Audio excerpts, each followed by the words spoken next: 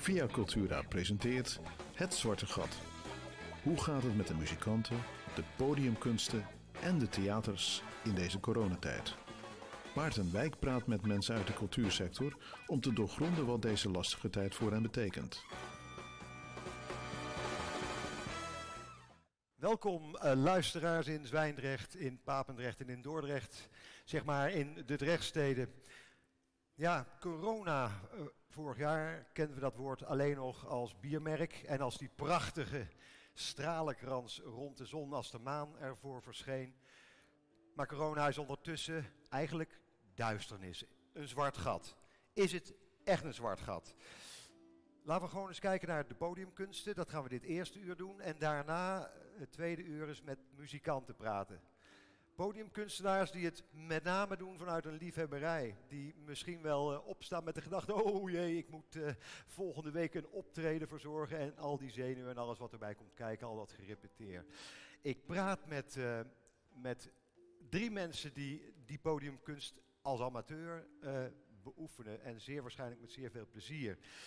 Margaret Bezems, zij is amateur uh, bij het toneelgezelschap Inter Amicos. Dat is een gemeenschap van al 125 jaar oud. Hebben een eigen onderkomen, een eigen toneeltje. Ze heeft meegenomen een nieuw lid, die dus nog helemaal moet wennen aan die cultuur van wat is nu toneelspelen eigenlijk in groepsverband. Ze gaat uitleggen ja, hoe ze dat juist in deze tijd ervaart. En dan praat ik met David Klein. David Klein doet aan improvisatietheater. Um, wat is improvisatietheater? Dat wil ik graag weten. En hoe doe je uit de vredesnaam als je op anderhalve meter afstand van elkaar moet blijven? Maar eigenlijk wil ik vooral weten, gaan we een stapje terug in de tijd. Dus toen corona nog een Mexicaans biertje was, een jaar terug in de tijd. Wat is Inter Amicos en wat is amateur toneel? Een toneelgezelschap. Wat doe je dan? Ja, wat doen we? Uh, we leven als uh, toneelvereniging toe naar twee optredens in een jaar. In het voorjaar en in het najaar. Dus, en dat betekent dus dat we ook heel veel uh, moeten oefenen met elkaar. Soms één of twee keer per week uh, oefenen wij voor het stuk wat we gaan opvoeren. En dat is heel intensief. Dus je bent gewoon constant bezig. Je bent thuis je tekst aan het instuderen. En je gaat twee keer in de week naar toneel, waar een regisseur is die jou die de groep helpt voor te bereiden op ons optreden. Ja, hoe groot is zo'n gezelschap dat aan één stuk werkt? Uh, met regisseur, de, ja, dat is heel verschillend. We hebben stukken met zes personen, zes spelers, vier spelers. Som, en we waren nu begonnen aan een stuk met volgens mij tien spelers. Dus dat wisselt uh, per productie. Ja, wat was het laatste stuk waar je aan werkte voordat de meneer Rutte op de televisie kwam vertellen dat je moest, uh, naar huis moest gaan. Ja, wij waren begonnen met De Val. Uh, dat uh, werd geregisseerd door Ellen Honings. En we waren al best wel ver. Er werd ook heel veel in, ja, soort geïmproviseerd. Er werd heel veel van onszelf ook ingelegd. Ja, we waren nog niet echt toe aan, aan het echte spelen, maar het inleven in de personages. Dus we waren al heel intensief bezig met elkaar. Ik denk dat wij in Mila in januari ja. zijn begonnen. Ja. Dus we hadden al wel wat uh, repetities erop zitten, ja. Zijn jullie nou ook echt een, een, een, een gemeenschap, die hele toneelvereniging? Ja. Vrienden van elkaar, ja. zeg maar. Ja, ik vind van wel, ja. Ja, Ja. Het is echt... Je, je groeit wel naar elkaar toe. Ja. ja. Ja, Vooral als je aan stukken speelt met elkaar, leer je elkaar echt heel goed kennen. en Ja. dat doen jullie dan, als je mag optreden in ieder geval. Ik neem ook het repeteren in dat prachtige theatertje. Ja. Van hoeveel stoeltjes? eh Met 80. 80 toch? Ja, ja. En die proberen we bij elke optreden vol te krijgen natuurlijk. Ja, Ja. In de, op de Johan de Wetstraat, geloof ik. Reeland. Cornelis de Oh, Witstraat. Cornelis toch? de Wetstraat. Johan de Wit. Johan de Wet. Nee, niet Johan Christian de Wit. de Wet. Was het Johan de Wit? Moet ik het nou gaan zeggen? Voor de concurrentie? Dat is een zenuw, hè? Eh, Nou, wij spelen in hetzelfde theater, dus eh, zo erg is het ook weer niet. nee. Eh, Mila, Ja. eh, ik, ik hoorde dat jij bent net lid van deze toneelvereniging Uh, geworden. nou ja, al. Twee jaar Maar dat is al. nog steeds wel nieuw. Ja. Wat trok jou in dit, eh, ja, zeg maar, traditionele toneelspel de, van gezelschappen? Ja, ik, ik had gewoon eh, eigenlijk zin om weer te spelen. ik, had, eh, ik was net klaar met een stuk van het klein toneel. Ehm, maar ja, ik had echt wel zin om samen producties te gaan maken. En ik was wel vaker bij Inter Amicos geweest. En ik had ook wel eerder bij Inter Amicos gespeeld. Maar toen was ik nog geen lid. En toen dacht ik van ja, laat ik mezelf nu eens officieel gewoon lid maken. Ja. En eh, ja, dat, dat is eigenlijk wel een hele goede beslissing geweest. En heb je ook al daadwerkelijk op de planken gestaan voor publiek met een stuk van uh, Inter Amicos? Uh, ja, ik, uh, ik heb in twee stukken gespeeld. Volgens mij zelfs drie. Eentje toen ik nog aspirantlid was. Dat speelde zich af in een café, in een bar. Um, de tweede was volgens mij Liggend Naakt. Daar heb ik samen met Margreet in gespeeld. En um, ja, dit jaar hebben we ook nog een, een kleine productie gedaan. Voor degenen die niet in de grote productie meededen, hebben we een, kleine, een kleinere productie ja. uh, samengesteld. Iets wat meer op kleinkunst leek dan op uh, een echte productie. Maar Ja. dat was ook enorm leuk. Word je nou ook gelijk in de groep opgenomen? eh, of moet je je echt erin vechten? Ik heb het gevoel, ik heb het gevoel dat uh, zeg maar, des te langer ik daar ben, des te, des te meer ik daar word geaccepteerd. Je, je, merkt, je merkt wel dat je met open armen wordt ontvangen. Het is dus ondertussen een familie van je geworden. Ja, ik heb ook echt het gevoel dat als ik aan een productie meedoe of zo, dan, omdat je zo intensief met elkaar uh, samen bent, heb ik ook echt het gevoel dat ik kan spreken van bijna een theaterfamilie. Waar je dan mee samen bent. En vooral tijdens die productie, uh, tijdens de avonden van die productie, is dat gevoel echt op zijn hoogst. Ja. Ja. Repetities, is dat nou, dat is natuurlijk al van een bruggetje naar zo meteen, maar is dat fysiek werk? Ik bedoel, ook met aanraking en ja, met... ja. En vechtpartijen en uh, ja, dat, ja. ik heb wel eens een blauwe plek op mijn achterhoofd gevallen hoor. Ja, het is, weg, ja, het is echt uh, veel aanraken. En nu, nu, nu uh, we komen zo meteen op dat nu uit hoor, maar uh, ik kan me voorstellen dat het improviseren is om die aanraking ja, de te laten. Ja, we hebben de productie stopgelegd, de repetities voor de productie. Uh, maar we hebben wel, misschien moet ik dat straks vertellen, maar wel een alternatief gevonden. We gaan om de paar weken met, met onze theatergroep, wie daar zin in heeft, de vloer op. Dus dan gaan we met elkaar improviseren. Daar komen we op afstand. Juist, over ja. improviseren gesproken. Ja. David Klein. Mm -hmm, wat krijgen we nou? Gaan ja, jullie de vloer op doen? Dat is spelen voor ons, hè? Okay. Spelen. Ja. Fijn, dank je even wel. het contract nog uh, even nalopen. David, uh, fijn, dank u wel. Wat een prachtige naam voor een improvisatietheater. Jullie ja, huren of maken gebruik van dezelfde ruimte uh, als Inter Amicos. Ja, daar zijn maar, we heel blij mee. Met maar iets heel anders, improvisatie. Noem eens een voorbeeld, wat is dat nou, improviseren? Nou ja, we doen dus onder andere de vloer op. um, dat doen we dus nu beide. Uh, maar ook um, gewoon losse vormen, zoals binnenkort um, op zondag 22 november vanaf 3 uur. Dan uh, gaan we uh, de superscene doen. En met de superscene dan hebben we vier regisseurs die zelf ook improviseren. Dus uh, ze krijgen eigenlijk vanuit het publiek krijgen ze een, een, een, woord mee, een thema, een filmstijl, iets krijgen ze mee. En met dat gegeven uh, schetsen ze in, in woorden globaal een, een, setting. En vervolgens gaan de, de rest van de spelers die gaan op die setting verder spelen. Um, en dan wordt um, de, de beste, het beste verhaal, dat wordt dan een, een heel verhaal in vier bedrijven. Ja. Even weer dat jaar terug. Is er ook een vriendenclub? Oh, absoluut. Uh, en de, ja, de familieclub eigenlijk ook, uh, zou ik wel zeggen, wat, wat hier ook al gezegd is. Ehm, bij improvisatie dan ehm, neem je ook echt je hele leven neem je mee eigenlijk naar het podium. Niet alleen de dingen die je leuk vindt, maar ehm, ja, ook, ja, ik heb zo, soms ook echt wel de behoefte om iets wat in mijn echte leven goed gegaan is of slecht gegaan is, om dat een plekje te geven op het podium. En dan, dan denk ik aan die situatie als ik een, een bepaald karakter wil spelen. En dat is zo bevrijdend. Is dat therapeutisch, zou je Dat is absoluut therapeutisch. Geldt dat ja. ook voor uh, toneel als je een, in, je in een rol inleeft in een uh, uitgeschreven stuk? Ja, het is soms heel bijzonder dat als je een personage gaat spelen die eigenlijk helemaal niet jouw type is. Ik moest in een vorige stuk echt, ik mocht geen moment een glimlach op mijn gezicht hebben. Ik was echt een hele zure tante. um, dan ga je daarin inleveren. En echt, je gaat dan ook wel ontdekken dat er ook wel dingetjes van jezelf in, die persona in dat personage zitten. En dat vind ik wel heel mooi.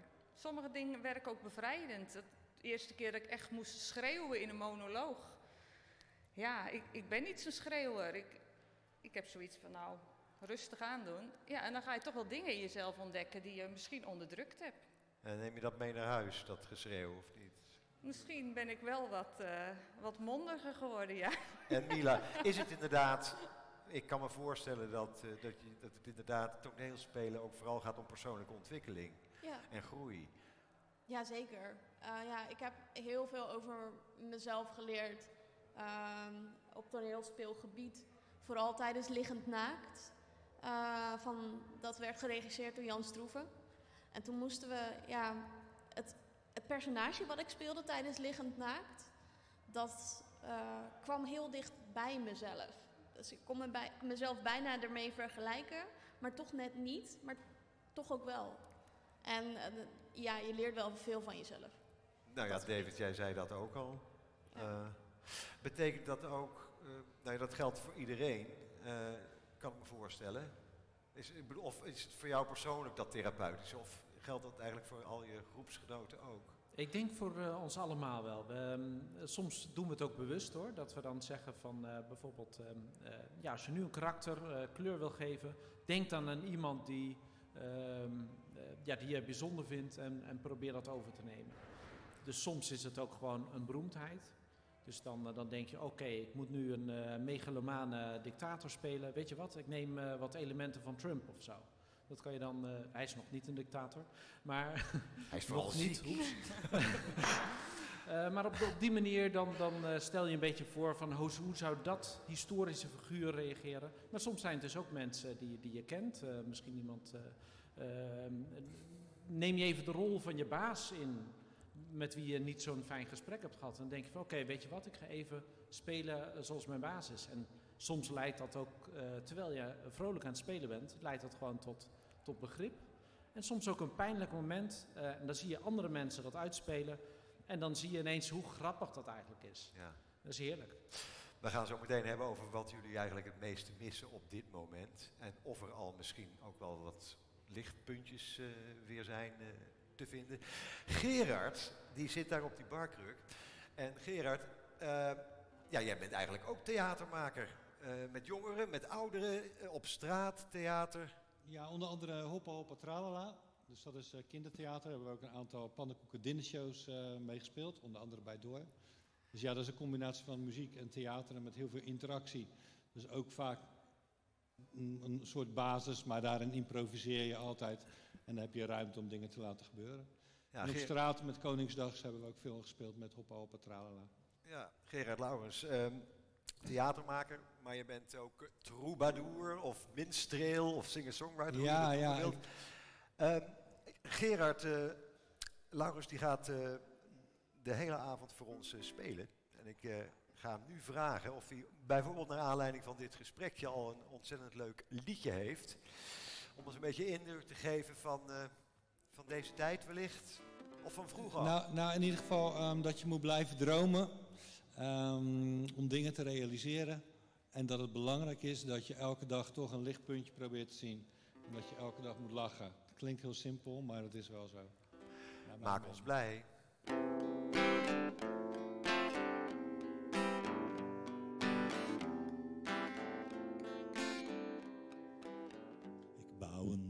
Van papier.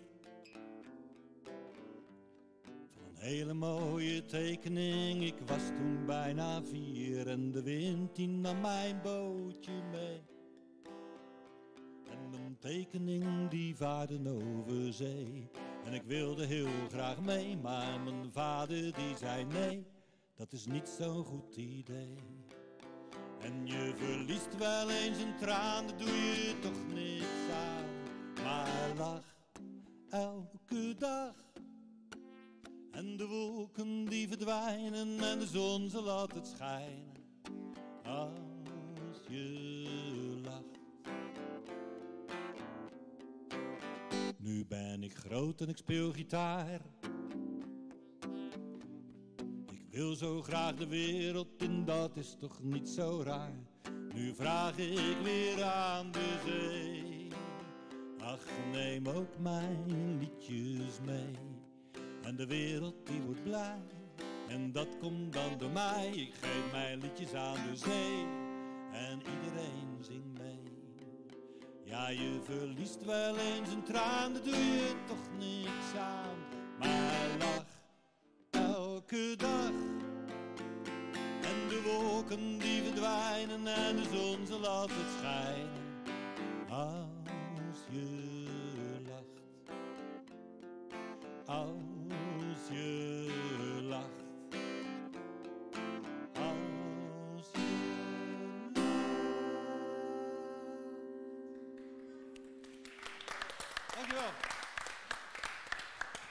Ja, als je lacht. Nou, het lachen is ons eh, in Nederland en de rest van de hele wereld trouwens eh, wel vergaan, zou je zeggen. Ehm, wat een virus is dit, zeg. Aranka Corbijn. Ja, ja, je zit hier nu in één keer. Mila is even verdwenen. Jij neemt daar plaats eh, nu in. Ook bij Inter Amicos, ook in dat toneelgezelschap. Ja. Hoe lang zit je er al bij? Ik zit er tien jaar bij, maar met een paar jaar gestopt. Dus toen was ik even tussenuit, maar in principe tien jaar. Wat brengt iemand ertoe om eh, te kiezen voor een toneelgezelschap? Ja, ik hield sowieso van kind, kind af aan al echt van toneel en entertainment, et cetera. En eh, toen was ik een jaar of 15, toen zei mijn moeder op een gegeven moment, lijkt het jou niet leuk om een keer op theater te gaan, jeugdtheater? Ik denk, ja, dat is eigenlijk wel iets voor mij. Dus eh, ja, daar ben ik in principe mee begonnen, jeugdtheater. En eh, dat was ook met zang en dans erbij. Op een gegeven moment denk ik, ja, ik vind het acteren zelf eigenlijk echt het leukst. En toen kwam ik eigenlijk weer via via eh, door iemand anders bij dit eh, toneelgezelschap. Ja. Toen dacht ik, ja, dat is wel superleuk. En toen was het in één keer 15 maart. Je Ja. vond het zo leuk, je hebt er heel bewust voor gekozen. Je hebt Zeker. vrienden, je hebt eh, een, een familie, je werkt aan iets. Je Ja. kunt lekker voor publiek gaan staan op een gegeven moment, hoe eng dat misschien ook wel is. Maar dat kan dan in één keer niet meer. Hoe Nee. heb jij dat bericht ontvangen van die, in één keer die lockdown-maatregelen? Nou, we zaten eigenlijk ook, eh, zoals Margreet net zei, was er al ehm, de voorbereiding voor een nieuw stuk bezig, maar we waren ook nog bezig met een ander stuk. En eh, we zouden een voorstelling spelen, dat was de laatste, als ik het goed heb, ja. Op 13 maart, vrijdag 13 maart. Vrijdag de 13 ook nog eens. Ja. En toen kregen wij het bericht van, eh, ik weet even niet meer precies, maar dat er een bepaald aantal mensen maar in- in de toegestaan was in de zaal. mochten. Ja. Dus dat beter was om niet door te laten. ja, en toen was het dus beter om het niet door te laten gaan. Dus toen werd die voorstelling afgelast. En toen was het wel echt even zo van, Zo. oké, dit is wel echt Heel even jammer. serieus. Eh, de Ja. voorstelling kan niet doorgaan. Wat mis je dan het meest? Wat heb je de- die- met name bijvoorbeeld die eerste maanden heel erg gemist, toen er echt niks mocht? Nee, klopt. Sowieso het spelen natuurlijk. Je mist echt gewoon het spelen zelf. Maar ook gewoon de mensen van de vereniging. Je bent toch, zoals net al werd gezegd, echt een familie, echt vrienden. En dat mis je ook. Je ziet elkaar gewoon echt even een lange Heb je tijd wel niet. telefonisch contact bijvoorbeeld? Of? Beetje appen af en Ja, toe. via de app, ja. Ja, ja. ja. En ik kan me voorstellen dat je in de eerste instantie denkt van nou deze drie maanden die overleven we wel, maar het... eh, Ja. Ik denk het gaat wel over. In het najaar gaan we gewoon verder. Ja, Dat is maar dat tijdelijk. Het duurt, ja, weet Ja, je wel. je Dadelijk wordt het wel weer minder en dan Ja. kan het wel weer. En, En dan ja. gaan we gewoon weer verder. Maar zo was het niet natuurlijk. Nee, helaas niet. Het eh, duurt allemaal even wat langer, ja. Ja. ja. Ja, toch stralen jullie nog. Dat mag niet, hè? We gaan nu pikzwart schilderijtje schilderen. Hoe erg is is het mooi. echt? Ja, het is, het, het- je moet sowieso altijd wel positief blijven, vind ik. Anders word je al helemaal, eh, kom je in een negatieve spiraal. Maar in het begin... Super, super jammer, toch? Ja, het is, het is niet leuk. Het Want het is- Het was je vast eh, ja, gangetje elke week. Vooral als je in een Ja. productie zit, heb je het gewoon heel druk ermee. is heel intensief en dan opeens valt het weg. Je hebt na een voorstelling als een zwart gat vaak. Hè? En dan Ja. heb, heb je vijf maanden ergens naartoe geleefd. En dan is het opeens over. En nu is het gewoon een wat breder zwart gat. ja. Ja, Ja. je raakt er onderhand aan gewend. Je Ja, niet er een leuk, beetje maar- rond. Maar ja, ik heb dat niet goed begrepen. Theaters mogen ook nu. Jullie hebben dan 80 stoelen in eh Inter Amicos. In theorie zouden daar mensen mogen zitten, toch? Ja. Niet? Ja, we zouden in principe natuurlijk een, iets met een kleine bezetting kunnen doen. Want eh, het stuk wat wij aan het voorbereiden waren was met 10, 11 personen. En dan zit je al, we hebben een heel klein theater, al met de ruimte achter de coulissen, waar je niet op elkaar kan wachten. En ja, het wordt, het wordt gewoon lastig. Dus ja, je hebt wel heel veel. eh, ja, je moet heel goed nadenken hoe je dan een productie weer neergezet, waar je ook wat, ja, als vereniging ook wel weer wat aan kan gaan verdienen. Want je moet wel een regisseur betalen. Ja, precies. Die is professioneel hierbij betrokken. die. Ik kan me voorstellen dat hij meerdere toneelgezelschappen doet. En dus klopt. bijzonder hard wordt geraakt ook. Ja, die regisseurs.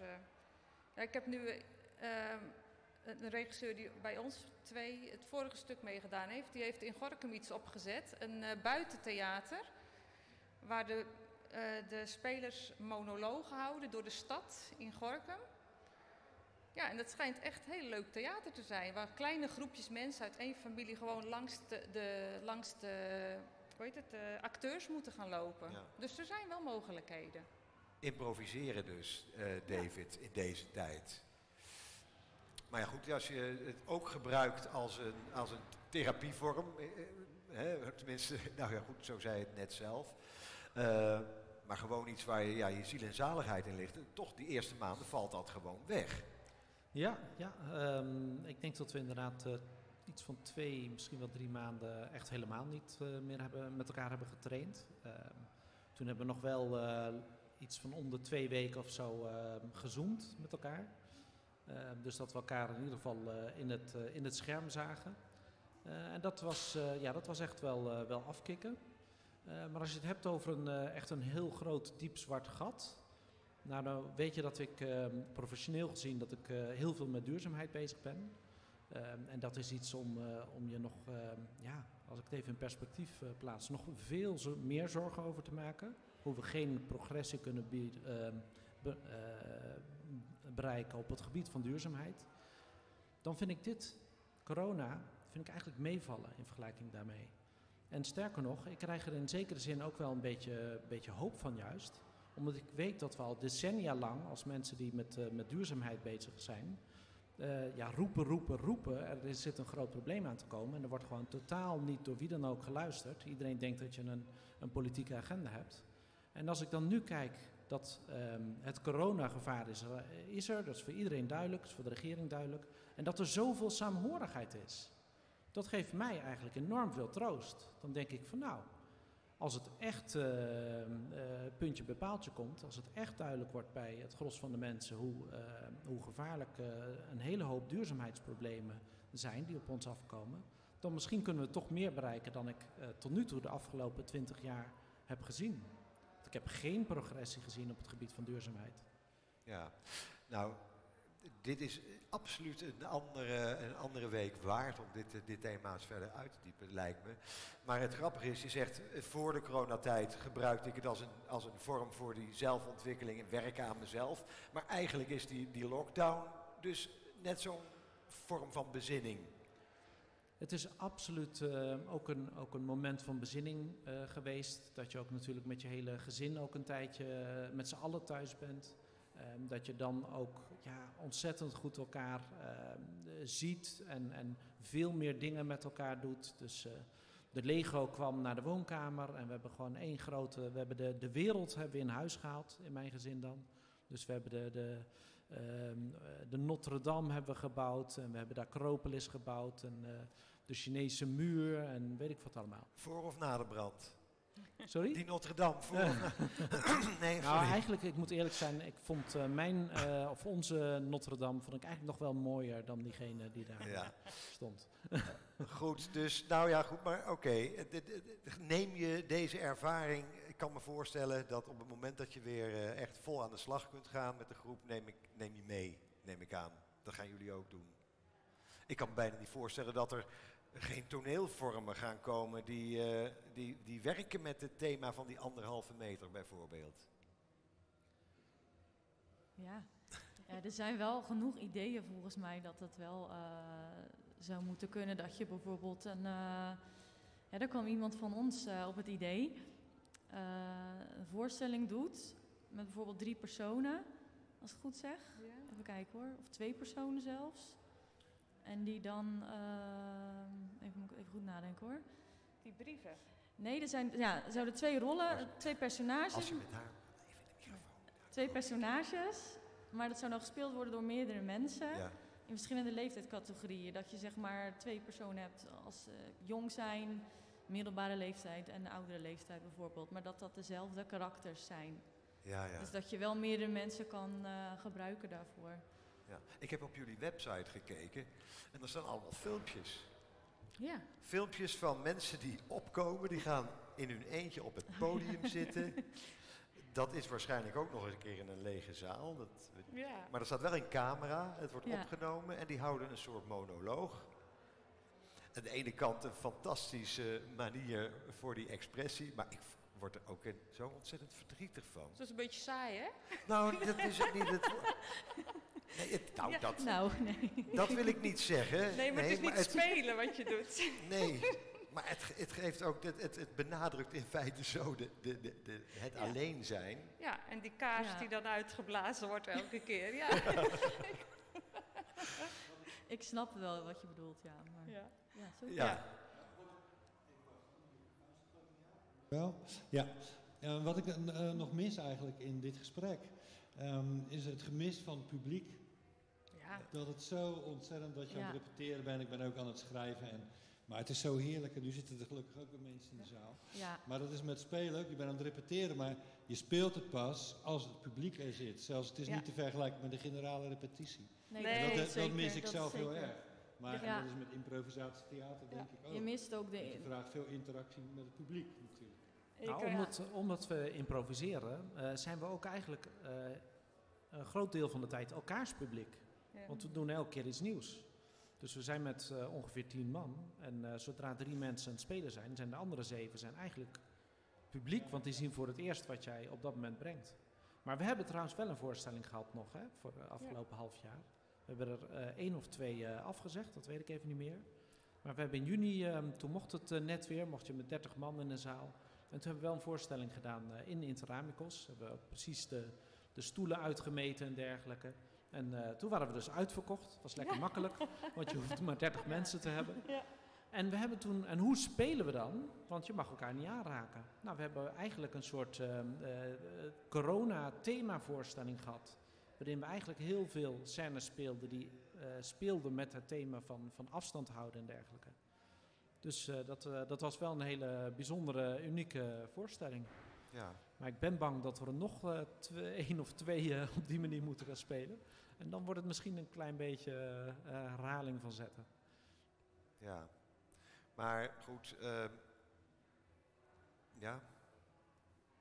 Zometeen wil ik eh, eens kijken of er, eh, hoe, het, hoe het eruit gaat zien eh, over, een, over een pak een beetje. Zullen we duimen? Een half jaar, drie maanden? ja.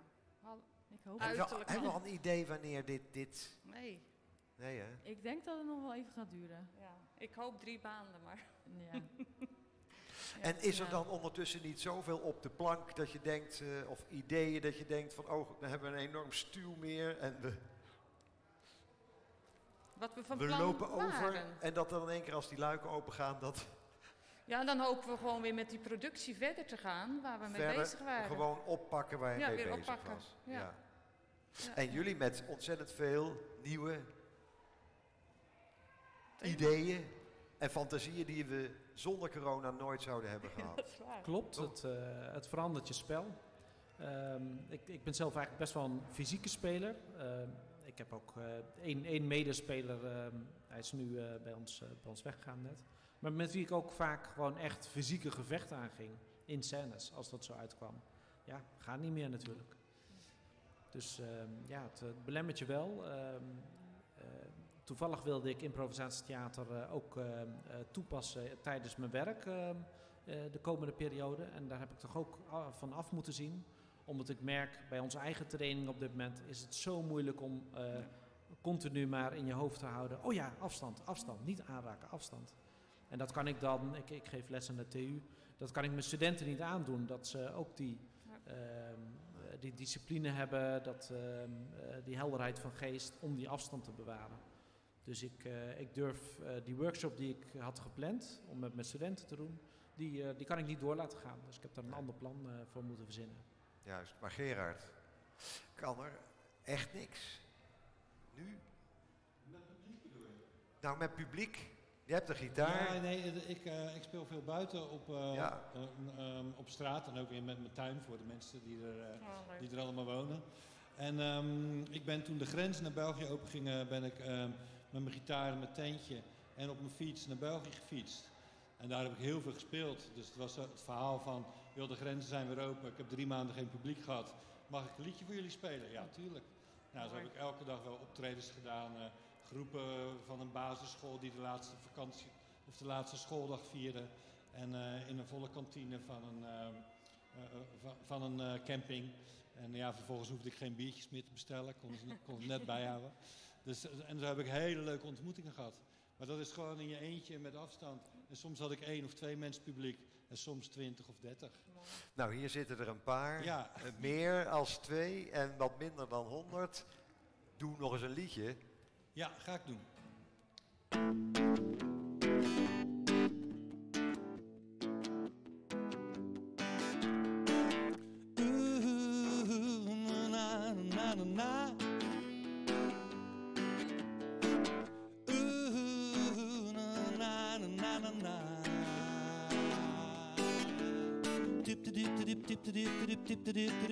Ooh,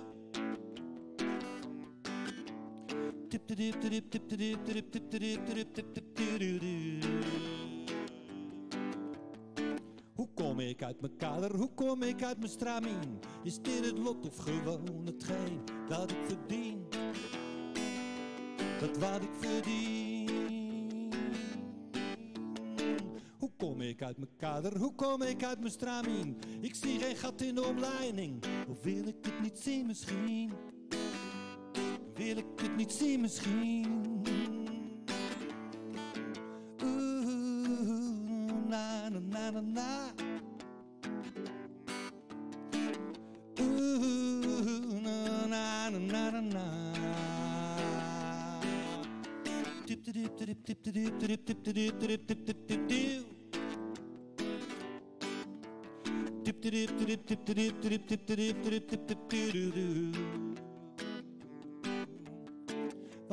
veilig in mijn kader, voel me best op mijn gemak. Het stramien, dat zit me best, hoewel soms een beetje strak. Dan wil ik uit mijn kader, dan wil ik uit mijn stramien. Dan doe ik even gek, wahoo, hi, ha, hokkie, tokkie, dokkie, dokkie, doing, doing, doing. En shalalala, en pa, pa, pa, pa,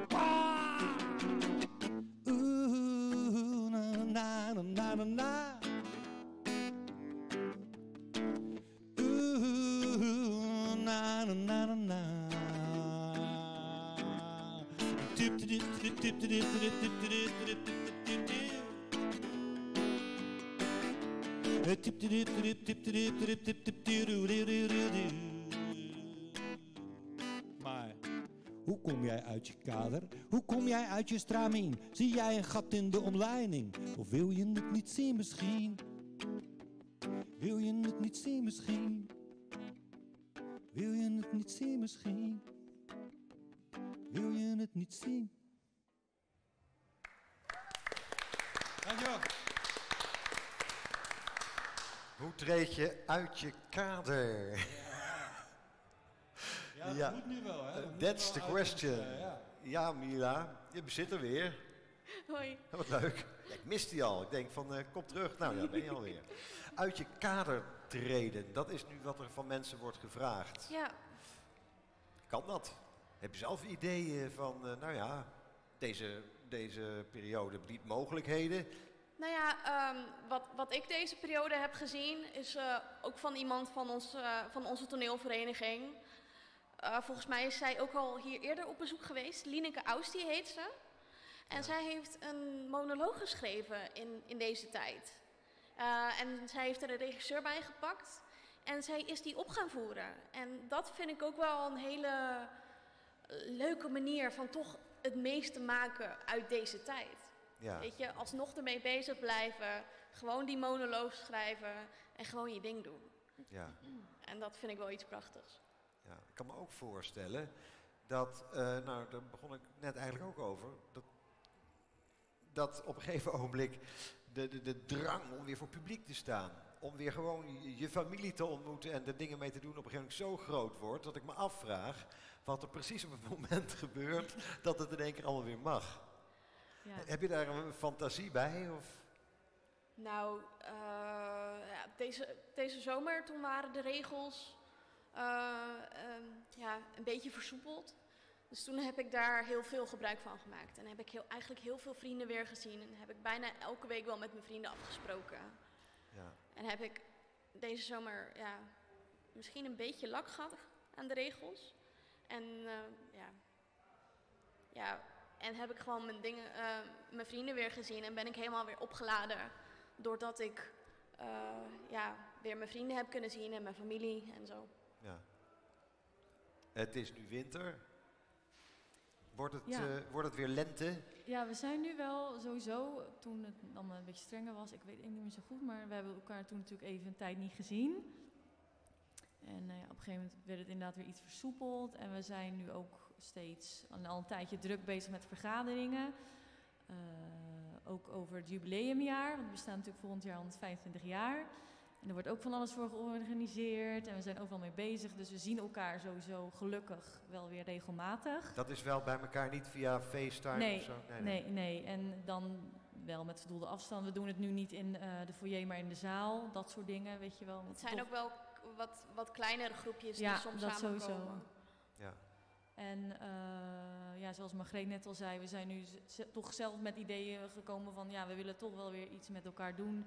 Dus inderdaad de vloer op, het improviseren, dat kan je makkelijk op anderhalve meter doen. Dus we zien elkaar nu gewoon wel weer regelmatig gelukkig. Dus dat is wel heel fijn. Ja. Ehm, ja, en dan eh, op een gegeven moment mag het weer wel. Dan moet je een stuk kiezen. Wat is voor jou nou echt een stuk waarvan je denkt, een toneelstuk, waarvan je denkt van dat is nou echt mooi, die, die, die, die, die hoe noemen ze dat ook alweer, Eh, benchmark.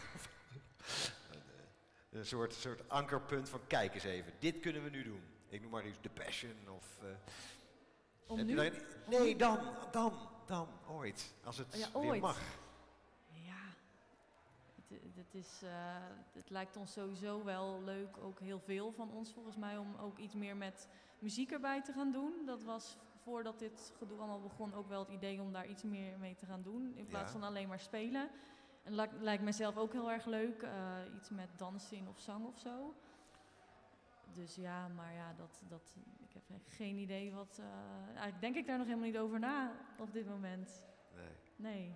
Over muzikanten gesproken, die komen in het tweede uur. Kun je gelijk even kennis met ze maken? Want ik kan me voorstellen dat ook muzikanten denken van dat dit een fantastisch idee zou kunnen zijn. Ehm, ja, David.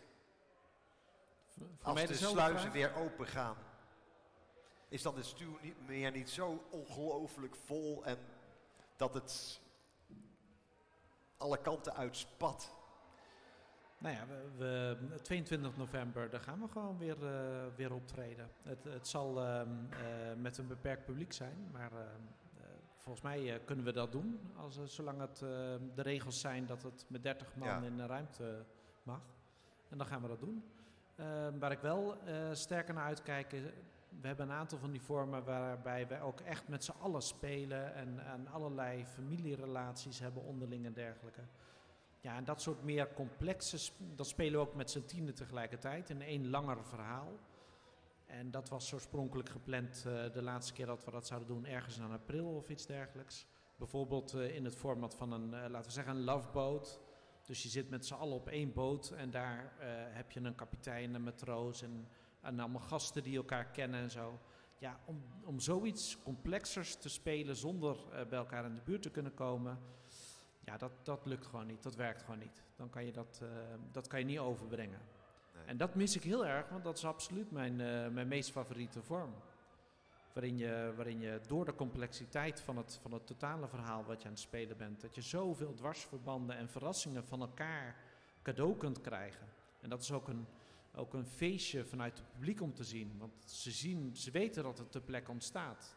Maar ze worden compleet verrast door tien mensen die, uh, die ieder voor zich ontzettend creatief bezig zijn. En aan de zijkant zitten en denken, ik heb een idee. Ik breng dit in. En dan is het opeens is het raak. En dat is mijn lievelingsvorm en die kan u niet. Dus dat, uh, dat mis ik zeker. Ja, dan gaan we even afwachten. Nou staat Gerard achter mij. En ik weet niet. Ja, je bent hem aan het bellen. Wat ik, uh, wat ik jullie ga vertellen is het. Oh. oh, ik weet niet. En we gaan even bellen met de directeur. Is er al iemand, Erik? Ja, ik hoor jou. Horen wij ons uh, ook op de radio op het ogenblik? Op speaker. Ik leg het even uit. Uh, wij bellen met de directeur van de Willem, dat is de Schouwburg in, uh, in Papendrecht. Die wou eigenlijk hier komen, maar dat kan niet. En waarom niet? Omdat hij is uitverkocht en hij heeft het heel erg druk vanavond. Hoe kan dat nou, zult u, zich, zult u zichzelf afvragen. Jullie misschien ook, maar ik ga het gewoon vragen. Erik. Ja, hoi Maarten. Hi. Moet je eens luisteren joh. Ik, uh, ja, ik had je gevraagd om, uh, om hier te kunnen zijn. Je zei dat kan niet, want, want ik ben uitverkocht. Ja, wij hebben Hoe... vol huis met Jan Dino apparaat vanavond twee keer achter elkaar. Hoe is het mogelijk? Vol huis. Ja, vol huis betekent 120 in plaats van 530, want dan moeten natuurlijk allemaal anderhalve meter uit elkaar. Ja. Nou, dat betekent dus, uh, als ik het goed uh, begrijp, 120 stoelen. Uh, dat, dat, is, dat, dat heeft nogal een consequentie, kan ik me voorstellen, voor het in de lucht houden van de Willem. Hoe lang is dat al? nou, sinds, sinds juli, hè? Ja. in juni mochten er 30 mensen in. Dat hebben we niet gedaan, want dat, dat is echt niet te doen. En vanaf 1 juli mochten er zoveel in als er past op anderhalve meter. En dat blijken er bij ons ongeveer 120 te zijn. En, ja. Ja, we zijn al blij met wat er zit. Ja, dan was even het idee dat het misschien binnenkort afgelopen zou kunnen zijn. Maar het lijkt nu juist weer uh, ja, de, de, verkeerde kant op te gaan. Ja, de cijfers ziet vandaag. Je houdt je hart vast, hè? Ja, nou vraag ik me af. Um, jullie niet alleen jullie als, uh, als, als Schouwburg uh, ja, hebben te lijden natuurlijk, maar ook al die theatergezelschappen, cabaretiers en artiesten ja. die dolgraag in de Willem zouden willen spelen voor een volle bak. En daar is helemaal niks van terechtgekomen. Wat, wat, heb je, krijg je signalen uit het veld van wat dat betekent voor de artiest? Ja, het hangt er heel erg van af. Het, ik, ik hoor af en toe een echo, dus kan je niet altijd even goed verstaan. Maar het, het, hangt er heel erg van af wat voor artiest het is. Er zijn natuurlijk artiesten die er redelijk warmpjes bij zitten. En uh, nou ja, goed, die kunnen gerust een jaar overslaan. Maar voor de, de gemiddelde muzikant betekent het eigenlijk gewoon uh, ja, of omscholen of de WW in. Dus ik zie nu heel veel mensen die in het verleden bijvoorbeeld in orkesten van musicals gezeten hebben. Die, die allemaal ja, er andere banen bij gaan zoeken. Dus die gaan uit de sector. Je ziet ook impresariaten die dichtgaan, die stoppen. Producenten die uh, bijltje erbij neergooien. Ja, dat is super zonde natuurlijk. Ja, want betekent dat als mensen nu uit de sector vertrekken, dan komen ze niet zomaar in één keer weer terug natuurlijk. Op het moment nee. dat het virus is verdwenen. Nee, nou ja, weet je, wat er ook wel aan de hand was voor het virus, is natuurlijk dat we een enorm aanbod hadden aan artiesten. Er waren eigenlijk veel meer uh, artiesten, bijvoorbeeld de cabaretiers, komen elk jaar komen er zo rustig 20 nieuwe cabaretiers van de, de scholen af. En eerlijk gezegd is daar niet allemaal plek voor, weet je. Niet iedereen is een Jandino Asparaat of een uh, Theo Maassen. Dus je ziet ook wel een beetje uh, dat het uh, kat van het koren gescheiden wordt, om het maar eens onaardig te zeggen. Maar ja, dat wordt natuurlijk voor heel veel mensen die nu dan maar een andere baan zoeken, dadelijk ja, bijna ondoenlijk om weer terug te komen. Dus dat gaat op termijn ook wel een verschaling opleveren. Ja, dat, ja, dat klinkt, mag ik zeggen. Mag ik zeggen dat ik dat wat cynisch vind klinken? Of, of is het gewoon realisme? Ja, ik denk dat het realistisch is, ja. Ik, uh, tenminste, daar ben ik wel bang voor. Als je uh, al die jaren... Kijk, voor, voor corona was er natuurlijk ook nog geen vetpot. Hè? Dus het is best wel, als jij eh, bassist of toetsenman bent in het bandje van een, van een musical, dan ga je heus niet met een dik salaris naar huis. Dus als je nu laat omscholen voor een kantoorbaan van het een of ander, en dat, dat bevalt een beetje, ja, dan kom je ook gewoon niet meer terug. Dus ik denk dat heel veel producenten op termijn ook gaan zeggen van, nou ja, zonder bandje, maar met een bandje, kan het eigenlijk ook wel. waar maken we ons druk op? En dat levert natuurlijk wel een, een, een verarming op. Ja, uh, tot slot, uh, ik kan me ook voorstellen dat al die artiesten die wel overleven, die het op een of andere manier voor elkaar krijgen, uh, ja, om het financieel vol te houden, ehm, die zitten allemaal nu in hun eigen tekenkamer allemaal hun, hun stukken voor te bereiden. Dat wordt straks een enorm stuwmeer aan nieuwe creativiteit. Hoe ga je dat ja, voorrang geven in je programmering? Als je de vraag begrijpt. Ik snap ja. zelf niet toen ik hem stelde, maar, uh, maar toch. Nee, nee, ja, ik, ik, ik, kijk er eerlijk gezegd wel naar uit, weet je. Uh, we zitten natuurlijk allemaal een beetje uh, te water trappelen nu.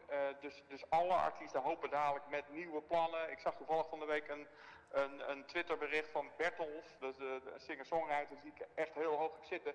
En die zei van ja, ik heb al een jaar lang niet opgetreden, dus ik ben alleen maar nieuwe muziek aan het schrijven. Ik heb voor heel 2021 nieuw materiaal dat zijn dingen waar ik wel enorm naar uitkijk. En dan wordt het toch een kwestie van uh, ja, een beetje de, de krent uit de pap uh, kiezen. Kijken wat ons publiek het leukste vindt. En daar uh, de mooiste dingen bij zoeken. En daar verheug ik me wel op. Als je het nou hebt over het, licht aan het eind van de tunnel. Vroeg of laat moet dat allemaal wel weer een keer opgelo opgelost zijn. En dan ga je eens wat meemaken. Zeker op cultureel gebied in Nederland, denk ik. Nou, Erik, bedankt voor dit gesprek. Ik, ik, wens je nog een plezierige avond en ik hoop dat het met de Willem uh, goed gaat en dat jullie in ieder geval het hoofd boven water kunnen houden. Nou ja, je zegt ook van, uh, ja toch een beetje een waarschuwing van uh, artiest. Ehm, het wordt voor jullie in ieder geval nog een, een, een lange strijd. Langer dan, dan het voor het publiek en voor jou wordt. Ja, dat denk ik ook. Um, wens het desalniettemin toch iedereen het allerbeste. Zeg Erik, bedankt. En wie weet uh, kun je volgende keer hier wel een keer live komen zitten. Zou ja, leuk zijn. Ja, zeker. Ga ik doen. Absoluut. Ja, dank je.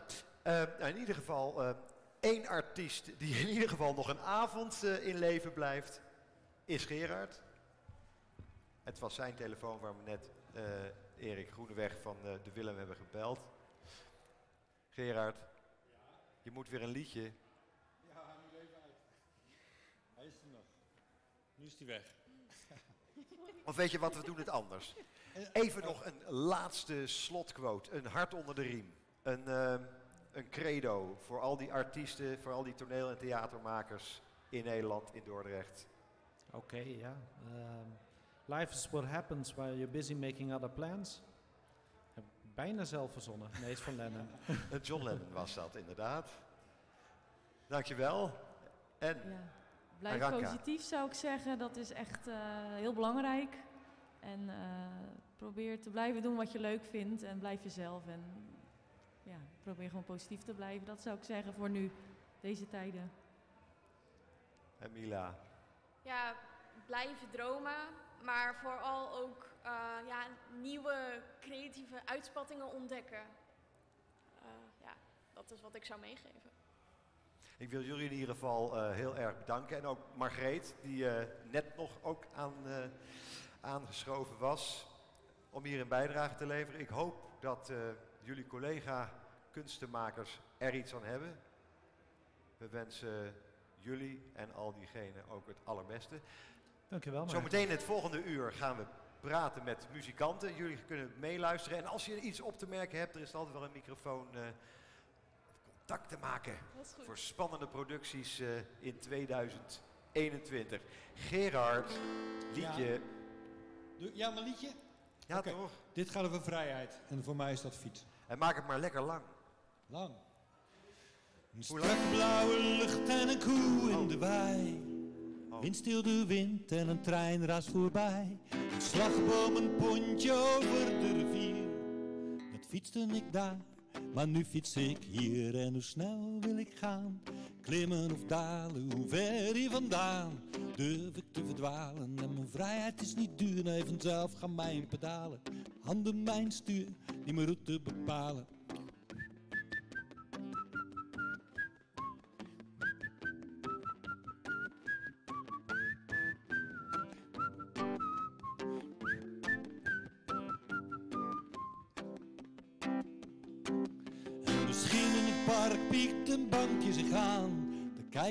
Denk ik, ik moet maar weer gaan. Even geen informatie, complex en te veel.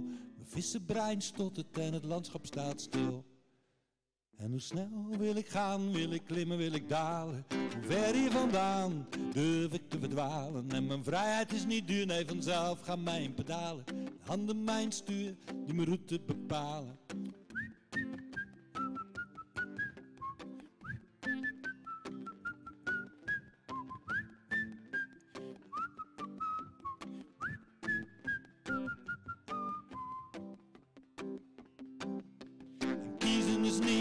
Altijd makkelijk hoor. Naar links of naar rechts of beter rechtdoor. Voorbij is vooruit en er is geen weg terug. En een duidelijk remspoor, maar achter mijn rug. En hoe snel wil ik gaan, wil ik klimmen, wil ik dalen? Hoe ver hier vandaan durf ik te verdwalen? Vrijheid is niet duur en vanzelf gaan mijn pedalen. Handen mijn stuur die mijn route bepalen. De wind in mijn haar en de zon op mijn huid. Banden, mijn asfalt, mijn geluid.